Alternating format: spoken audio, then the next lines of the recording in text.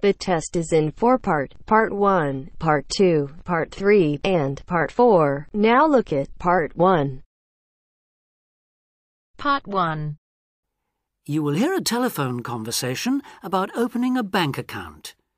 First, you have some time to look at questions 1 to 7.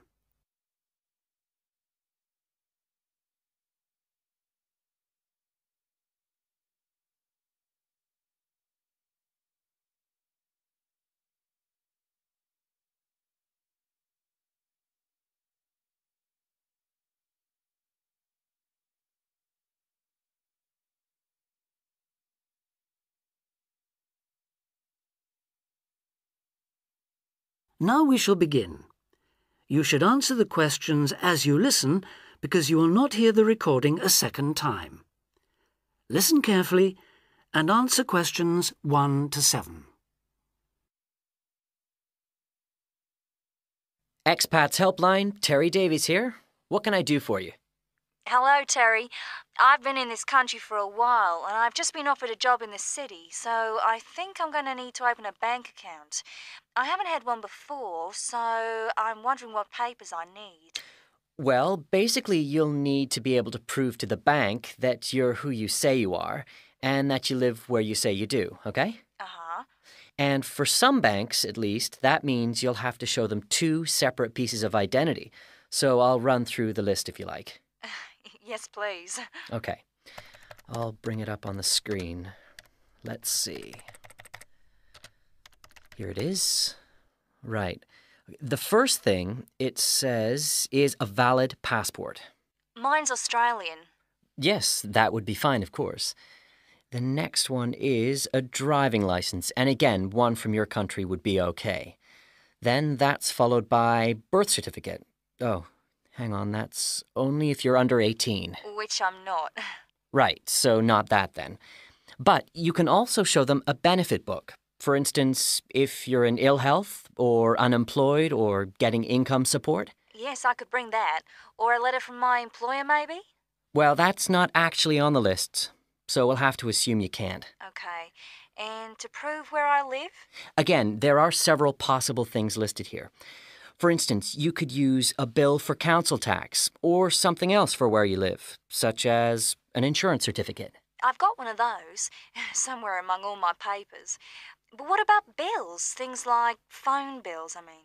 As long as it has your address on it, yes, fine. So a bill for my mobile would do, would it? Uh, I'm afraid it would have to be for a fixed line phone.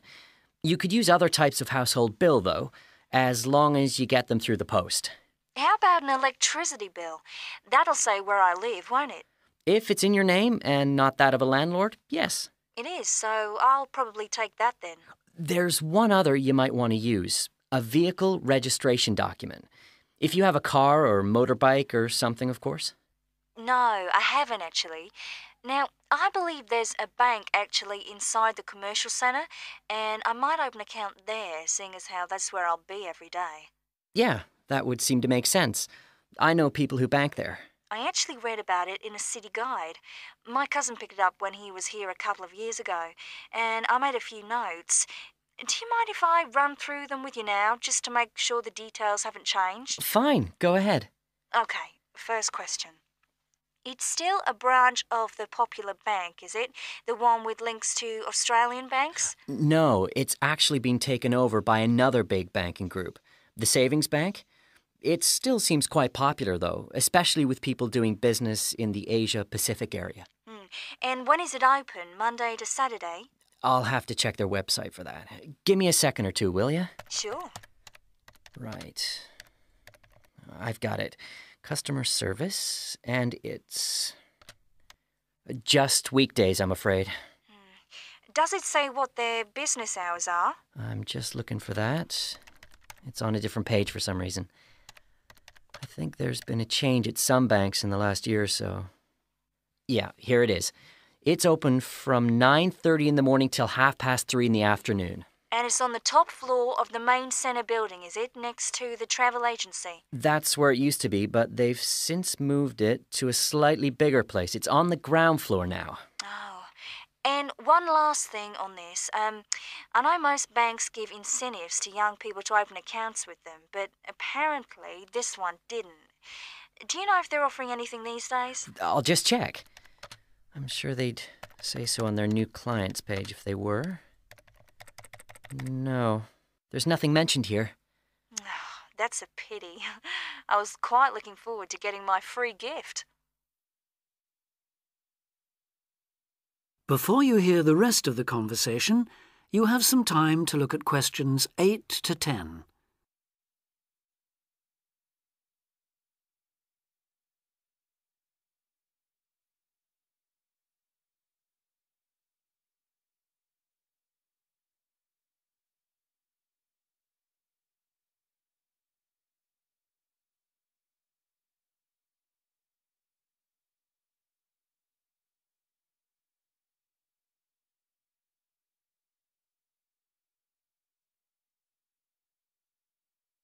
Now listen and answer questions 8 to 10. There are plenty of other banks within walking distance, you know. It may be worth shopping around to see what they've got to offer. Longer opening hours, including Saturdays, perhaps less crowded. Can you tell me how to get to a couple of them? I know where the commercial centre is, so that's probably my best starting place. Sure. For the Royal Bank, you need to turn left when you leave the centre go along Market Street past the post office and turn left up Bridge Street past the Shaw Theatre. Mm. Then you take the first right. You'll see an internet cafe on the other side, and the Royal is just a bit further along on the right, directly opposite the Park Hotel. Okay, I've got that. Um, what about the Northern Bank? For that one, you turn right as you come out of the centre and go along Market Street until you come to the junction with West Street. Mm. There you turn right again and carry on up as far as the next junction where you take a left. You'll see the bank from there. It's the third building on the right. Fine. And the last one, uh, the National Bank? You can go either way from the centre, really. Up West Street or Bridge Street, and then along past City Hall. The bank is on the other side of the road, right next to the tourist office. You can't miss it. Great. Thanks a lot for your help. Anytime. Bye. Bye.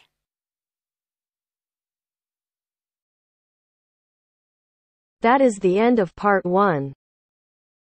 You now have half a minute to check your answers.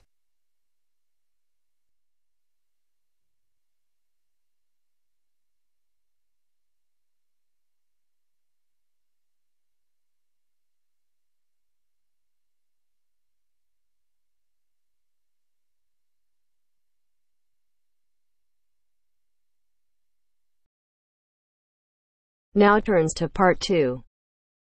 Part two. You will hear Joanne describing her home city of Darwin in Australia to a man called Rob who hopes to go there.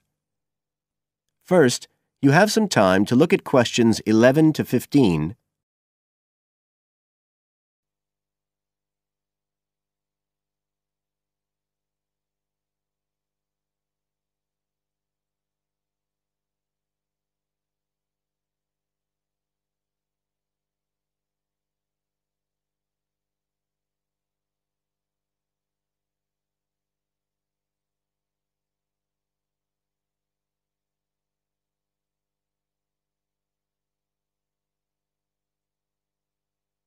Now listen carefully and answer questions 11 to 15.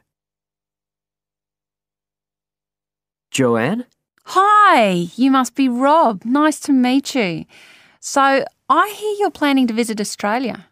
Yeah, and I really wanted to talk to you because I was thinking of spending some time in Darwin, and my sister told me you're from there. That's right. So, tell me about it. Well, where shall I start? Well, Darwin's in what they call the top end because it's right up at the northern end of Australia and it's quite different from the rest of Australia in terms of cultural influences. In fact, it's nearer to Jakarta in Indonesia than it is to Sydney, so you get a very strong Asian influence there. That means we get lots of tourists. People from other parts of Australia are attracted by this sort of international cosmopolitan image. And as well as that, We've got the same laid back atmosphere you get all over Australia, probably more so, if anything, because of the climate. But what a lot of the tourists don't realise until they get there is that the city's also got a very young population. The average age is just 29, and this makes the whole place very buzzy. Some people think that there might not be that much going on as far as art and music and dancing and so on are concerned because it's so remote. I mean, we don't really get things like theatre and opera in the same way as cities down in the south, like Sydney, for example, because of the transport expenses. But in fact, what happens is that we just do it ourselves. Lots of people play music, classical as well as pop, and there are things like artists groups and writers groups and dance classes. Everyone does something. We don't just sit and watch other people. You said it's very international? Yeah, they say there's over 70 different nationalities in Darwin. For instance, there's been a Chinese population there for over 100 years. We've even got a Chinese temple. It was built way back in 1887, but um, when a very bad storm, a, a cyclone in fact, hit Darwin in the 1970s, it was almost completely destroyed. The only parts of the temple that survived were part of the altars and the stone lions, but after the storm, they reconstructed it using modern materials. It's still used as a religious centre today, but it's open to tourists too, and it's definitely worth going to see it. Oh, and as far as getting around goes, you'll see places that advertise bicycles for hire, but I wouldn't recommend it. A lot of the year it's just so hot and humid. Some tourists think it'll be fine because there's not much in the way of hills and the traffic's quite light compared with some places, but believe me, you're better off with public transport. It's fine and not expensive. Or you can hire a car, but it's not really worth it. What's the swimming like? Well, there are some good beaches, but the trouble is that there's this nasty creature called the box jellyfish, and if it stings you, you're in bad trouble. So you have to be very careful most of the year, especially in the winter months. You can wear a lycra suit to cover your arms and legs, but I wouldn't like to risk it even so, personally. And there are the saltwater crocodiles too. I mean, I don't want to put you off. There are protected swimming areas netted off where you'll be safe from jellyfish and crocs, or there are the public swimming pools. They're fine, of course. You now have some time to look at questions 16 to 20.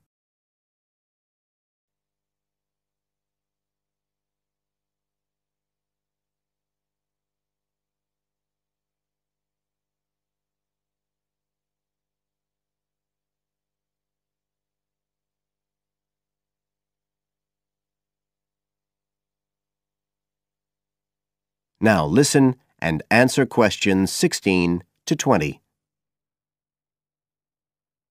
So, which places would you specially recommend? Well, one of the most popular attractions is called Aquascene. What happens is every day at high tide, hundreds of fish come in from the sea, all different sorts, including some really big deep sea fish. And some of them will even take food from your hand. It's right in the middle of town at the end of the esplanade. It's not free. I think you have to pay about $5, but it's definitely something you have to experience. Then, of course, Darwin has a great range of food.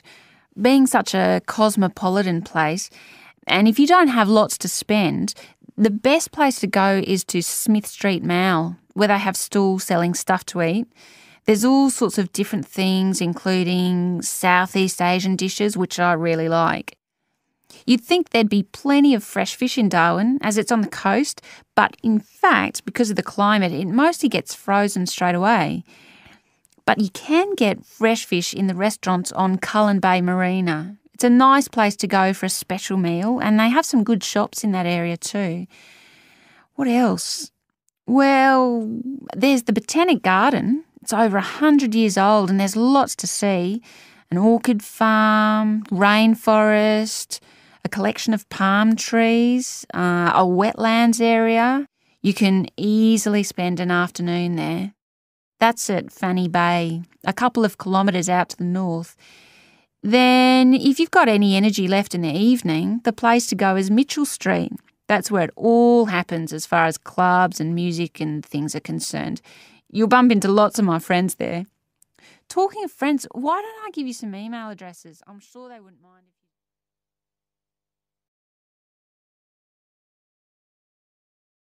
That is the end of part two.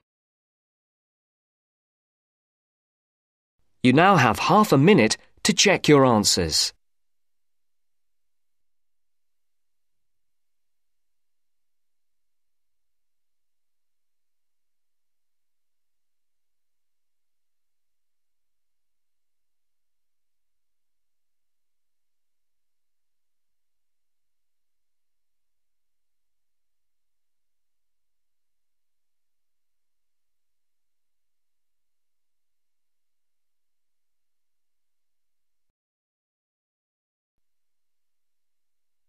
Now turns to part three. Part 3 Mr. Jackson, who feels that he is physically unfit, is consulting with his doctor about his health condition. Before you listen to their conversation, you have a chance to read questions 21 to 24.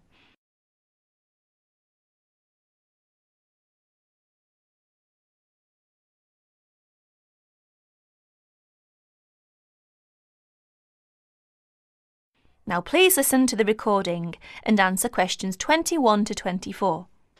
Well, Mr. Jackson, the first and important thing I have to tell you is that um, there is really nothing seriously wrong with you. Physically, that is. My uh, my very thorough re-examination and the the analyst's report show that basically you are very fit.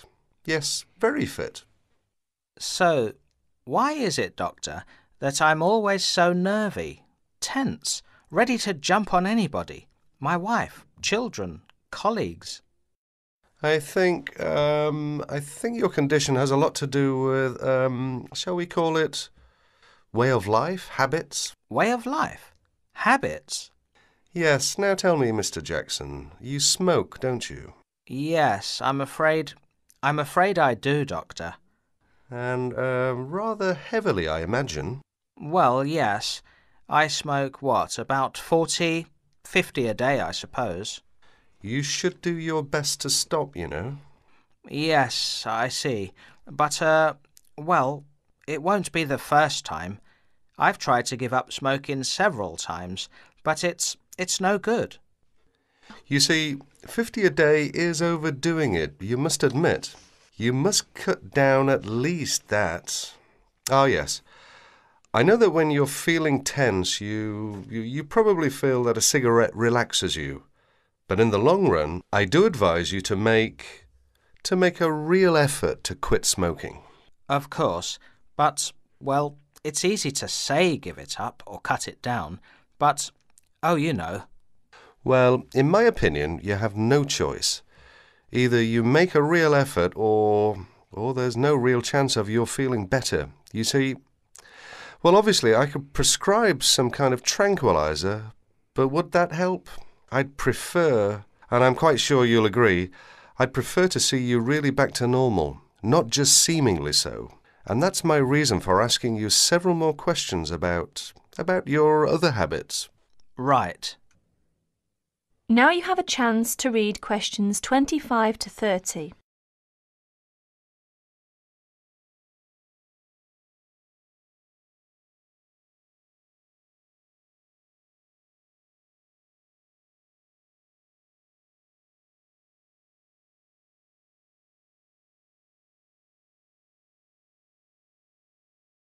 As you listen to more of their conversation, answer questions 25 to 30.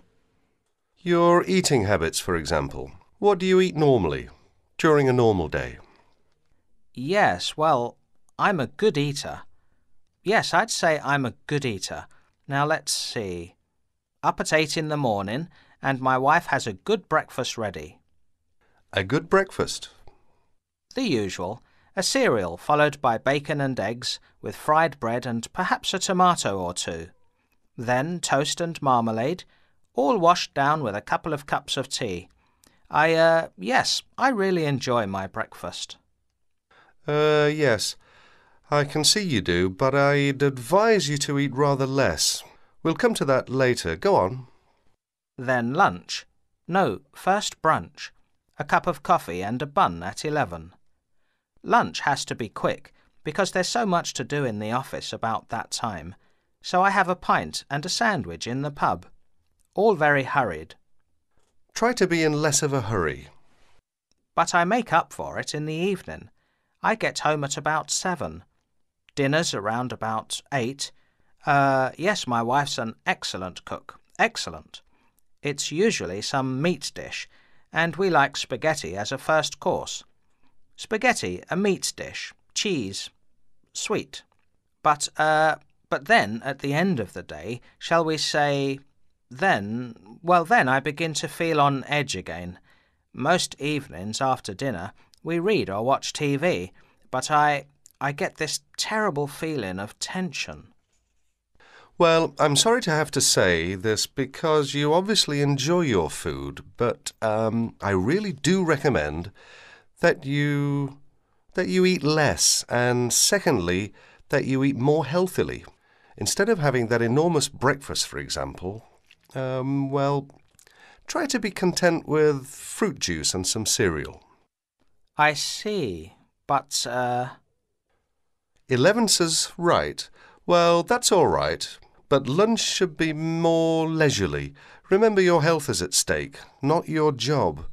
As for dinner, um, I'd advise you to eat a soup, perhaps, with a salad. A salad followed by some fruit. But my wife's cooking. Is superb, granted. And she probably enjoys preparing delicious meals for you. If you like, well, um, I'll have a word with your wife. No, that won't be necessary. Uh, thanks just the same, Doctor, but no.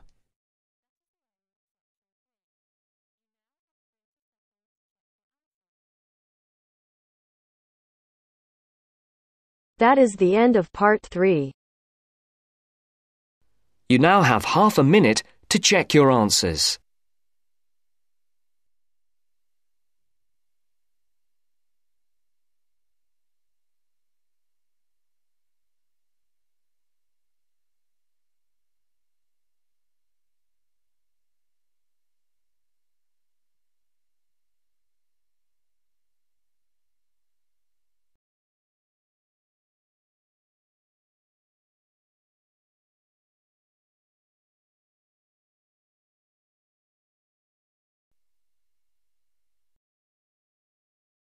Now turns to part 4. Part 4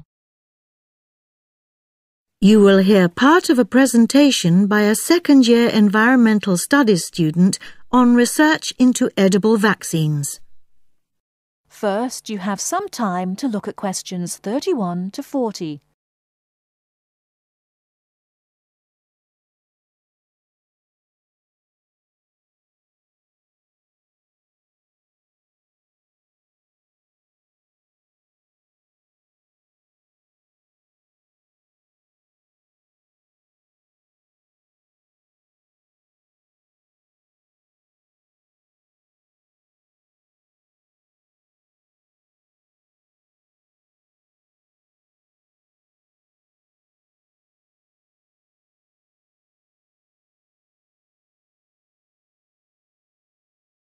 Now listen carefully and answer questions 31 to 40.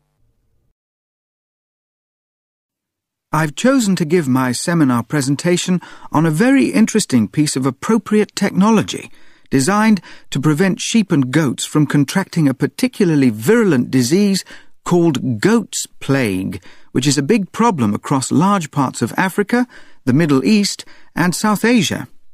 The Indian Institute of Science in Bangalore has been working to produce genetically modified peanut plants to deliver an edible vaccine, in other words, vaccine which is given through the medium of food. In this case, it is given through genetically modified peanut leaves, which are often used as animal fodder in India. Why is edible vaccine considered much better suited to the local conditions and needs than ordinary vaccines injected by needles?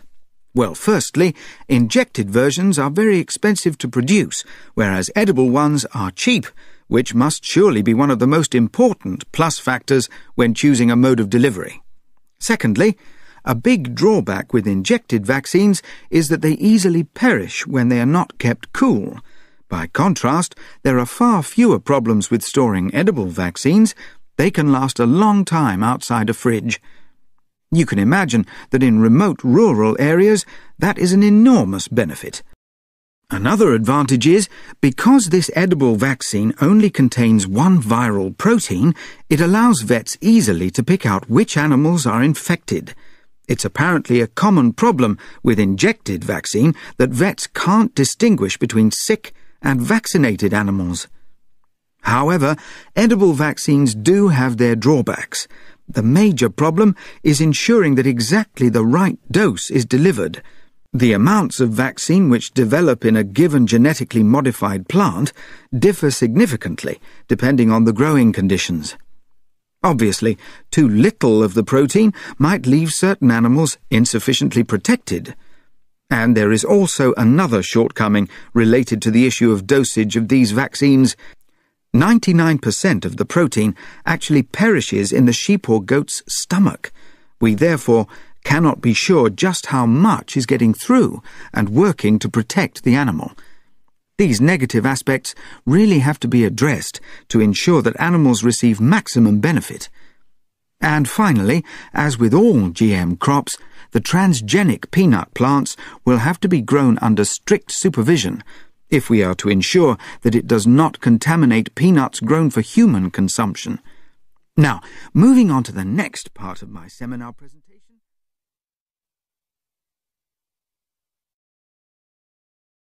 That is the end of part 4. You now have half a minute to check your answers.